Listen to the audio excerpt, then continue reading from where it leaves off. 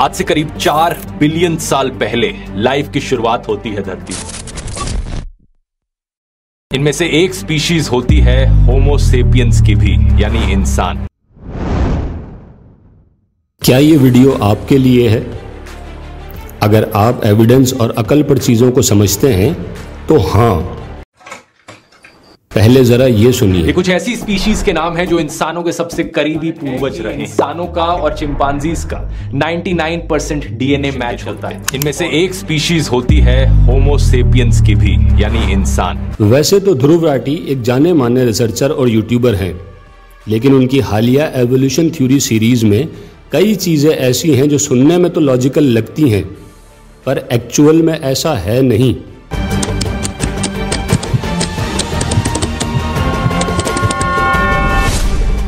Evolution theory में जो बात हमेशा से कंट्रोवर्शियल रही है, वो ये है कि इंसान बंदर से बना है। ये कोई रिलीजियस डिबेट नहीं है।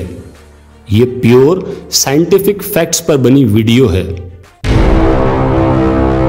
और मैं हूँ 50 टीवी ध्रुव कहते हैं कि थ्योरी कोई नज़रिया नहीं होता। बल्कि उसके पीछे एविडेंस मौजूद होता है। इसलिए साइंटिफिक थ्योरी का मतलब एक्चुअली फैक्ट्स होता है।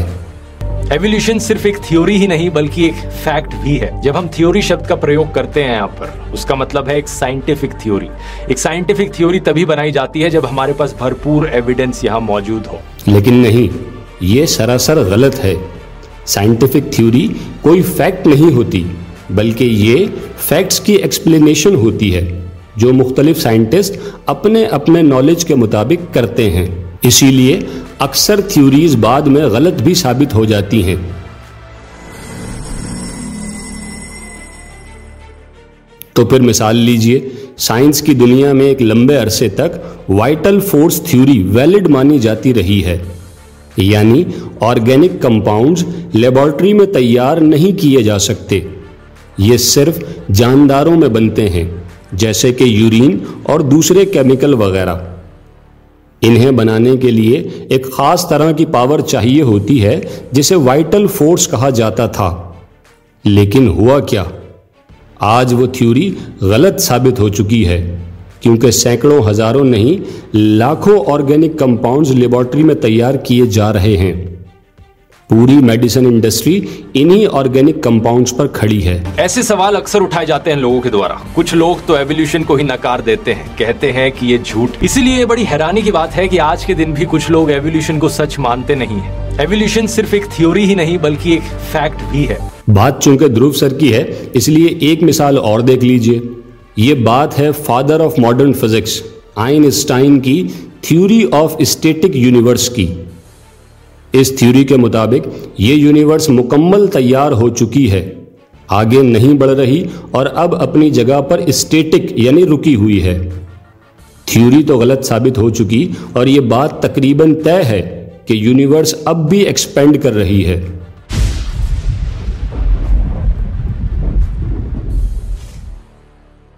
थ्योरी के गलत साबित होने की कई मिसालें मौजूद हैं। इसीलिए थ्योरी फैक्ट नहीं है। Well, that's just a theory. लेकिन सवाल ये उठता है कि अगर इंसान बंदरों से आए तो आज के दिन भी हमें बंदर क्यों देखने को मिलते हैं? ये सारे बंदर चिंपांजीज और गोरिल्लास ये इंसानों में इवॉल्व क्यों नहीं हो गए? नहीं सवाल ये नहीं है बल्कि सवाल ये है कि बंदर और इंसान के बीच जो इवॉल्व होते हुए लोग थे वो कहाँ हैं? उनके फॉसिल्स क्यों नहीं मिलते?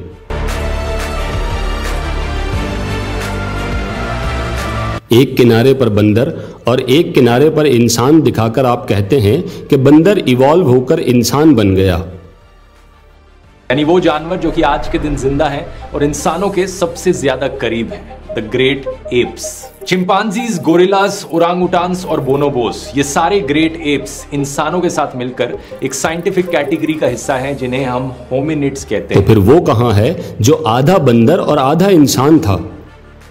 एवोल्यूशन लाखों साल का प्रोसेस है। इन लाखों सालों में मरने वाले वो स्पेशीज़ जो बंदर से इंसान बनते बनते मर गए, उनके फॉसिल्स क्यों ना आज तक मिल सके हैं?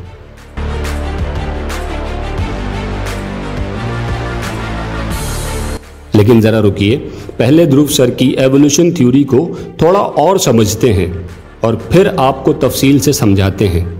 और इसे कनेक्शन बताया जाता है आज के दिन सारी मछलियों और लैंड वर्टिब्रेट्स के बीच में। 368 मिलियन ईयर्स पहले एम्फीबियंस की डेवलपमेंट शुरू होती। फिर एवोल्यूशन होती है रेप्टाइल्स की। सांप टर्टल्स एलिगेटर्स क्रोकोडाइल्स यानी ध्रुव सर के मुताबिक मछली से छिपकली छिपकली से सांप और सांप से मगरमच्छ बना है।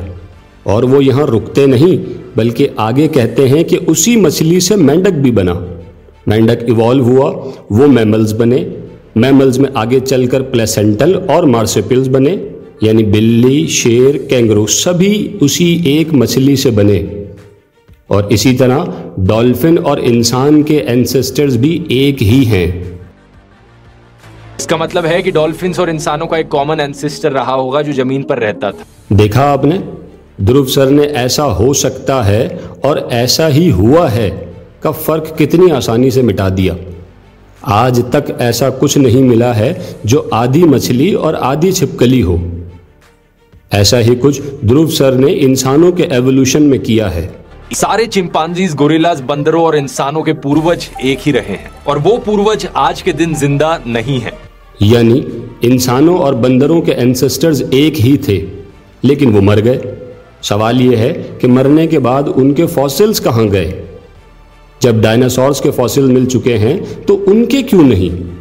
ध्रुव सर ये सारी थ्योरी उन सिमिलैरिटीज की बुनियाद पर बना रहे हैं जो इंसानों और बंदरों में पाई जाती हैं। हम सारे होमिनिट्स में बहुत सारी सिमिलैरिटीज हैं। जैसे कि हम में से किसी की भी कोई पूछ नहीं होती या फिर हम सब में बायपेडलिज्म देखने को मिलता है। क्योंकि पूछ तो रीच की भी नहीं और वो भी दो पैरों पर चलता है। ये ग्रेट एप्स हालाँकि इंसानों की तरह बोल नहीं सकते लेकिन ये ह्यूमन साइन लैंग्वेज ज़रूर समझ सकते हैं। तोता इंसानों की तरह बोल लेता है। Would you like to introduce yourself? इन्हें ट्रेन किया जा सकता है। ट्रेन तो डॉग्स को भी किया जा सकता है इवन शेर को भी। इन्हें भी टीवी देखना पसंद है। टीवी देखना बिल्ली को भी पसंद है। और जब इन्हें गुदगुदी करी जाती है तो इनके मुँह से भी हंसने जैसी आवाज़ें निकलती हैं।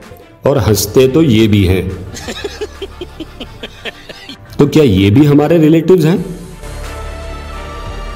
ध्रुव सर अपनी थ्योरी में सबसे इंपॉर्टेंट कुछ सवाल ऐसे ही छोड़ गए हैं। जैसे कि अगर बंदर ने इवॉल्व होकर इंसान बनना शुरू किया था तो अब ये एवोल्यूशन रुक क्यों गया है? बंदर अब इंसानों में इवॉल्व क्यों नहीं होते? इंसान इंसानों से ही पैदा होते हैं। क्या इस दुनिया में आज तक कोई इंसान ऐसा गुजरा है जो पैदा तो बंदर से हुआ? मगर इवॉल्व होकर इंसान बन गया। शायद नहीं, बल्कि यकीनन नहीं। एक और अहम सवाल यह है कि जो स्पेशी इवॉल्व होकर कुछ और बनना शुरू हो जाती है, उसे बिलाखिर एवोल्यूशन कंप्लीट होने पर मुकम्मल तब्दील हो जाना चाहिए। लेकिन बंदर चिंपैंजी गोरीला आज तक वैसे ही हैं। ध्रुव सर खुद यही बताते हैं कि एवोल्यूशन इसीलिए होता है कि इस माहौल में सरवाइव करना मुश्किल होता है। तो वो बदल जाते हैं, ताकि ज़िंदा रहें। ना बदले तो मारे जाएँगे। जो बंदर नहीं बदले, वो ज़िंदा क्यों रहे? और अगर ज़िंदा रह सकते थे तो बदले क्यों? ये और इस जैसे बहुत से सवाल अभी बाकी हैं। जैसे कि ये उस वक्त कोई जीन्स नहीं थी, कोई डीएनए नहीं था। बस कुछ फ्री फ्लोटिंग न्यूक्लियोटाइड्स थे जो एक आरएनए में असेंबल हो गए। इस आरएनए ने एक मॉलिक्यूल बनाया पीटीसी नाम से और ये सेल्फ ऑर्गेनाइज कर गया जिससे ये फूका बना। हम सबका ये पहला एंसिस्टर है। ध्रुव सर, शायद एवोल्यूशन और क्रिएशन को कंफ्यूज कर रहे हैं। इवॉल्व होने के लिए पहले क्रिएट होना ज़रूरी है। और जब मछली क्रिएट हो सकती है तो मेंढक भी अलग क्रिएट हो सकता है। बंदर अलग क्रिएट हो सकता है तो इंसान भी अलग क्रिएट हो सकता है। और इन सब क्रिएटेड स्पीशीज में अलग अलग एवोल्यूशन भी मुमकिन है। इसीलिए हमने वीडियो के शुरू में आपको बताया था कि थ्योरी एक एक्सप्लेनेशन है। एक फैक्ट की कई एक्सप्लेनेशंस मुमकिन हैं और हैं। थ्योरी ऑफ़ एवोल्यूशन के बारे में दूसरी एक्सप्लेनेशन क्या है, ये देखिए हमारी दूसरी वीडियो में।